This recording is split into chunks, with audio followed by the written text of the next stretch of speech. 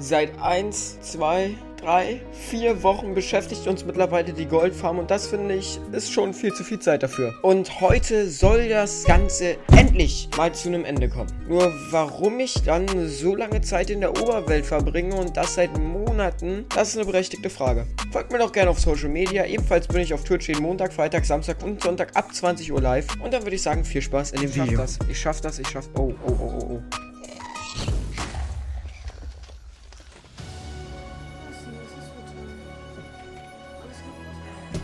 In Zukunft.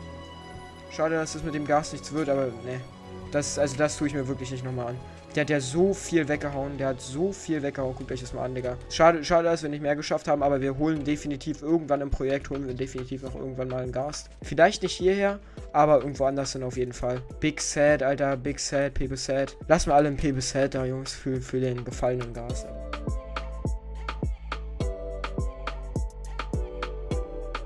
Willkommen zurück aus der Timelapse. Es sind jetzt alle Blöcke spawnproof. Das ist sehr geil. Das haben wir zum Glück erledigt bekommen. Ich muss sagen, mir gefällt der Teppich nicht annähernd so gut, nicht annähernd so gut wie der Beton, den wir davor hatten. Also for real, der Teppich ist so ein bisschen, naja, und hier ist auch irgendwie nur ein Beacon am Schein. Keine Ahnung, wo der Rest ist. Der ist einfach weg wieder. Dieser Beacon-Bug geht mir irgendwie übel auf den Senkel, aber naja. Auf jeden Fall steht jetzt soweit alles. Hier dürfte jetzt nirgendwo mehr irgendeine Art und Weise von Entity spawnen. Ihr habt es auch gesehen, wir haben nochmal versucht, einen Gast, bevor wir die Teppiche legen wollten, dort einzusperren. Der ist dann selbst gestorben wie ein Vollidiot. Also for real, dieser Gast war ja wirklich die reinste Katastrophe. Aber nicht zu ändern. Hier sind jetzt überall Half-Slaps drauf. Ähm, nächste, nächste Mission, nächster Plan, den ich jetzt verfolge, ist der, der Eingangsbereich, den ich vorhab zu bauen. Also erstmal suche ich mir eine Mitte, ne? Das muss ein ähm, relativ mittiger Raum werden, dass von hier aus die Blöcke so und so weit nach da gehen und so und so weit nach da und nach da. Und dann wird der Raum im Prinzip ja ein bisschen kreisförmig nahezu gebaut. Also ich habe eigentlich vor, dass beispielsweise der, das Tor dann hier so ist und dann geht es hier wieder zurück und dann ist hier das Nether-Portal, okay? Und dann ist hier wieder so eine Wand und dann ist hier das nächste Tor und dann hier wieder zurück. Das ist so ein,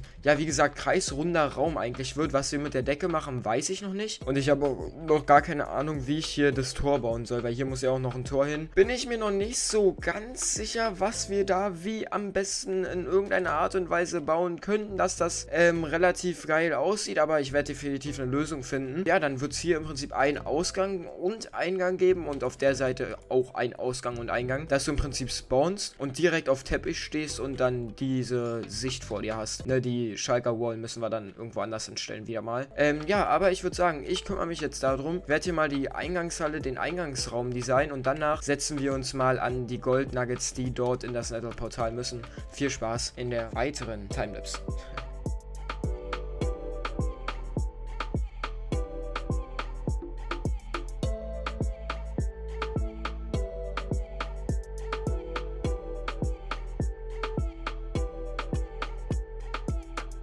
Ist jetzt einiges passiert, also schon wieder einiges. Ich sag's eigentlich nach jeder Timelapse wieder. Wir haben jetzt den Eingangsbereich mit dem dicken Nether-Portal, was ich genau so vorhatte, im Prinzip fertig. Und ich muss sagen, Bruder, du kommst hier rein und du bist direkt geflasht. Warte, wir können mal ganz kurz rausgehen und dann wieder rein. Ähm, gehen wir mal wieder rein. Und jetzt müssten wir das sehen. Oh, asozial. Maschallah, stell dir mal vor, man läuft hier rein.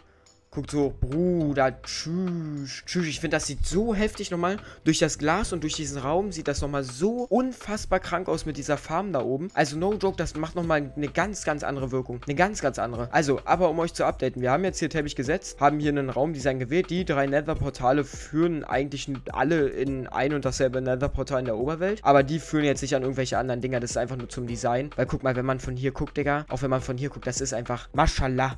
Es sieht wirklich einfach so unfassbar gut aus. Ich bin so, so zufrieden wieder mit diesem Lagersystem und mit diesem Eingangsbereich hierzu. Das ist einfach sau, sau, sau geil geworden. Also sau geil. Ich habe hier versucht, den grünen Vibe im Prinzip wieder mitzubringen. Generell im Prinzip das Design hiervon weiterzuführen in, dem, in der Eingangshalle. Ist mir auch sehr gut gelungen, muss ich sagen. Also no joke, ich bin sau, sau zufrieden, wie gesagt. Und hier drüber, also über die View, Digga.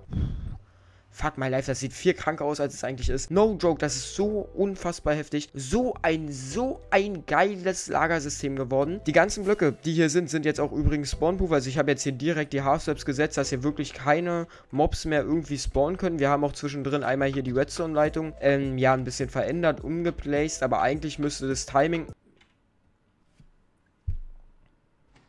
Ist das dein Ernst? Ist das dein Ernst? Wie? Bist du auf dem Slime-Block gespawnt, der sich aller 12 Sekunden bewegt. Willst du mich verarschen?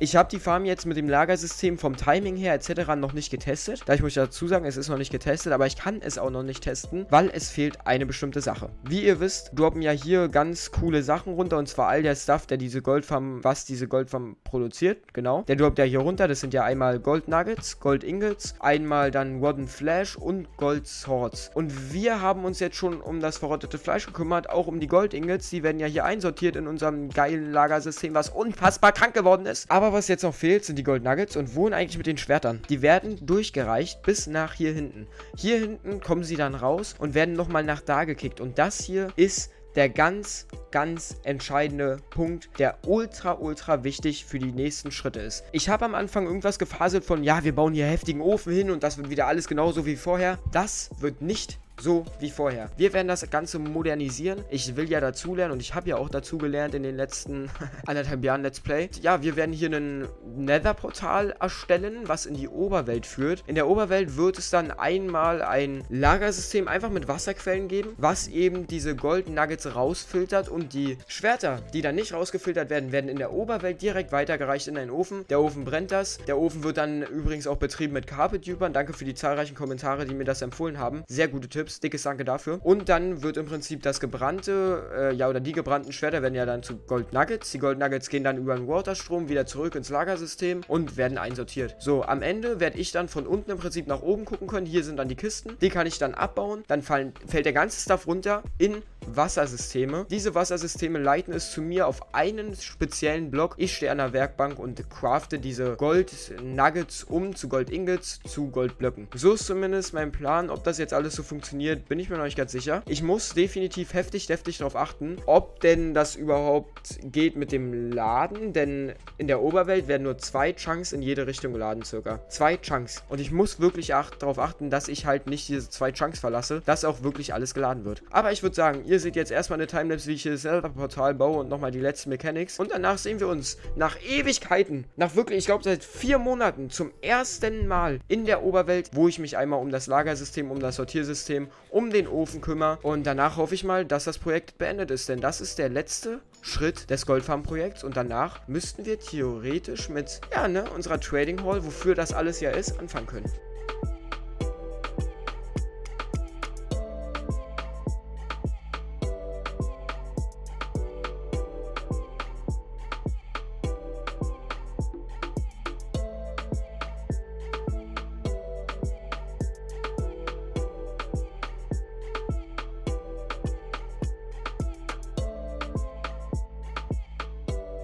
Es gibt noch eine ganz, ganz kleine Kleinigkeit zu tun, bevor das gesamte Projekt fertiggestellt ist. Auch wenn jetzt ähm, ja die Farm steht, auch wenn jetzt das Lagersystem steht, auch wenn das und das alles steht, ist halt das kleine Problem immer noch, dass hier auf diesen Teppichblöcken sowie hier auf diesen ja auf diesen äh, Tischen nun mal diese Piglins spawnen.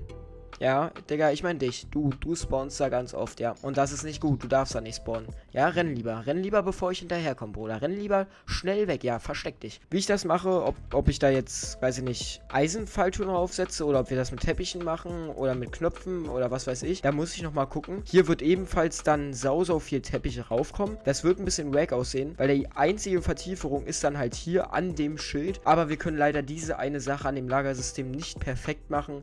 Der Rest ist meiner Meinung nach perfekt, also for real. Aber ich würde sagen, ich äh, kümmere mich kurz hier um Spawnproof machen, dass sie keine Piglins mehr spawnen. Und danach würde ich sagen, sollte das gesamte Projekt hier mit allem soweit beendet sein. Und wir können erstmal eine kleine Zusammenfassung machen, aber das seht ihr gleich. Viel Spaß in der Timelapse. Auf jeden Fall haben wir jetzt diese Eingangshalle, diese wunderschöne Eingangshalle fertig. Und nicht zu vergessen, das wahrscheinlich wesentlich, wesentlich größere, das wesentlich größere Projekt, wo es auch noch eine kleine Kleinigkeit dann zu machen gibt, was ich aber ähm, erst in Zukunft machen werde. Denn ich habe schon ein neues Projekt geplant, aber dazu gleich mehr. Ähm, ist das hier. Und zwar das Sortiersystem im Prinzip für ja die Gold Nuggets, die automatische Crafting Station für die Gold Nuggets, sowie eigentlich ja alles alles, weitere. Da ist auch unten ein Ofen, aber ich, ich erkläre euch das alles mal, weil ich bin der Meinung oder ich bin mir ziemlich sicher, dass Okay, es donnert und wir sind auf Höhe 256, das ist perfekt. Ähm, aber ich bin mir ziemlich sicher, dass es in der Timelapse überhaupt nicht erkennbar war, was jetzt hier wie gebaut worden ist und was nicht. Auf jeden Fall müsst ihr euch vorstellen, durch das Portal auf der anderen Seite, wo wir gerade durchgelaufen sind, okay, fallen Items durch. Diese Items sind nur Goldschwerter und Goldnuggets, weil die Items nicht vom Sortiersystem auf der anderen Seite des Portals rausgefiltert werden können. Heißt, die fließen dann hier rein, dann gehen die hier durch. Ähm, und hier werden dann in diesen Kisten, die ihr hier seht, die Goldnuggets schon raussortiert und auch ebenfalls in die Kisten einsortiert. Das ist wichtig oder äh, die Kisten an sich sind hier an dem Ort, weil nun mal hier eine, ähm, ja, wie soll ich sagen, eine automatische Trading Station möglich ist. Und wie ihr seht, ist das ein Kreislauf, dass wenn die Kisten da voll sind, die hier als nächstes befüllt werden, die werden auch definitiv alle sehr schnell voll. Wir haben ausgerechnet, am Ende hat man, glaube ich, aus den Kisten, ja, eineinhalb Doppelkisten oder so, glaube ich, anderthalb. Auf jeden Fall kann man über den Hebel hier oben, nicht Hebel, sondern über den Knopf hier oben, kann man dann darauf drücken. Und wenn man darauf drückt, habt ihr schon gehört, geht da unten aus den Dispensern oder aus den Dispensern aus was was auch immer das ist, geht das Wasser raus. Das ist knallhart wichtig für uns. Ich mache das jetzt erstmal wieder aus, einfach damit es eingesammelt wird, denn wenn wir jetzt hier runtergehen und der Donner fuckt mich echt ab, Alter, ich habe hier aber kein Bett und uns einmal da reinlegen. Zack, dann sind wir hier. Und hier seht ihr, wäre dann das Wasser in dem Prinzip. Auf jeden Fall könnte man dann hier hingehen mit der Axt und diese Kisten abbauen. Diese Kisten werden dann abgebaut, die Items droppen, werden nach hier vorne gespült, hier gehen sie dann in das Wasser, werden dann in dieses Loch gespült und wenn man so schlau war und vorher die Kisten da abgebaut hat, gehen die Items am Ende hier runter in die zweite Etage und fallen dann gleich hier komplett durch nach ganz unten und zwar hierhin. Dann haben wir hier im Prinzip ja 80 Doppelkisten Gold Nuggets auf zwei Blöcken, was so glaube ich nicht stattfinden kann, weil das viel zu hart längen würde für meinen PC. Aber man könnte sich dann rein theoretisch in diese 80 Doppelkisten stellen und hier die ganze Zeit umcraften, Goldblöcke zu, äh, Gold Nuggets zu Goldblöcken. Dann wird es hier direkt in... Jo, Dicker. Ähm, aber hier kann, hier können die, jetzt bin ich voll verwirrt, hier können, auf jeden Fall können die Goldblöcke dann hier direkt in die Shulkerkisten gemacht werden, dann abgebaut werden. Und dann kann man das Ganze direkt mitnehmen und wieder nach ganz oben zwischen zum Nether-Portal, wo man dann wieder in den Nether kommt, um rauszukommen. Ich wäre ja nicht Relation, würde ich nicht immer irgendwelche Besonderheiten mitbauen oder irgendwas, was ein bisschen übertrieben ist oder whatever. Wir haben hier noch einen voll, einen voll automatischen Ofen direkt durchbrät zu Gold Nuggets macht und die Gold Nuggets werden dann direkt via einem Fahrstuhl nach hier oben geschossen und wieder in das Kreislaufsystem des Lagers reingespült, sodass sie wieder einsortiert werden können. Das ist das Geile daran, Digga, weil wir haben keinen Stuff, den die Goldfarm produziert, der im Prinzip verbrannt wird. Alles wird wiederverwertet, wirklich alles. Jedoch gibt es ein kleines Problem. Und davon weiß nicht mal der Stream. Denn ich habe offscreen mit den Villagern getradet und das nicht ohne, weswegen es hier jetzt auch so hart anfängt zu ruckeln, weil wir das hier runterstellen müssen. Auf jeden Fall habe ich mit den Villagern getradet und das nicht ohne. Und das dicke, dicke Problem ist, dass ich die Villager Trading Hall, die übrigens direkt da drunter ist, also hier ist die Villager Trading Hall mit über 500, äh, mit über 304 Villagern drin, die verläuft hier an den Beacons im Prinzip nach da lang. Das dicke Problem ist, ich habe die so konzipiert, dass diese ähm, vier, ja, Breeder hier geladen werden, währenddessen ich am Ende der Villager Trading Hall stehe. Da, wo das Feuer da oben ist, das sind andere Chunks als da, wo die Teppichtüber sind. Und die Chunks, wo das Feuer ist, werden nicht geladen, aber die Chunks, wo der Teppich drüber ist, die werden geladen. Wohl oder übel, wenn ich in der Villager Trading Hall stehe und dort mein Stuffer trade, blablabla, wird ja, unendlich Teppich produziert und das Feuer, was den Teppich verbrennen sollte, wird halt nicht geladen und deswegen kann der Teppich nicht verbrennen. Deswegen kommt es zu richtigen Lags und ich stand hier letztens und wusste nicht, wie ich aus, ähm, ja, einem Standbild rauskomme, weil immer wieder, wenn ich auf die Welt gegangen bin, habe ich ein dickes Standbild bekommen. Und was ist denn das? Digga, es ist Scheißwetter, ich werde von Mobs attackiert und das am Ende eines dicken Projekts. Lass mich doch bitte in Ruhe. Ihr habt es gerade wahrscheinlich schon gehört, das Goldfarm-Projekt. In der Devise ist jetzt nach drei oder vier Folgen, glaube ich, abgeschlossen. Soweit erstmal, was unfassbar krank ist. Ich habe noch nicht den Praxistest gemacht. Ich habe noch nicht getestet, ob die Farm funktioniert, wenn ich jetzt hier 10, 20, 30 Stunden stehen würde. Aber was ich auch mit euch einmal testen kann, ist, ob die Farm überhaupt an sich funktioniert. Wie viel Level und Drops wir in Wirklichkeit daraus bekommen und ob das Lagersystem mit dem da durchschießen da unten auch überhaupt funktioniert. Wer, wer weiß das schon? Ich habe es ja wahrscheinlich vorher gar nicht im Stream getestet getestet oder so. Nein, nein, das ist noch nie passiert. Denn ich werde hier jetzt einmal den Hebel umlegen. Dann schießen wir hier einmal mit unserem Pfeil und Bogen. Aufpassen, dass wir nicht die da hinten treffen, sondern irgendeinen von denen. Zack, einmal einen ab. Und jetzt können wir hier mal, keine Ahnung, lasst uns für zwei Minuten stehen. Merkt euch mal meine Levelzahl. Und ich bleibe jetzt hier mal für exakt zwei Minuten stehen ab jetzt. Und dann gucken wir mal, was in der Zeit an Stuff zusammenkommt, was in der Zeit passiert. 6, 5, 4, 2, 1.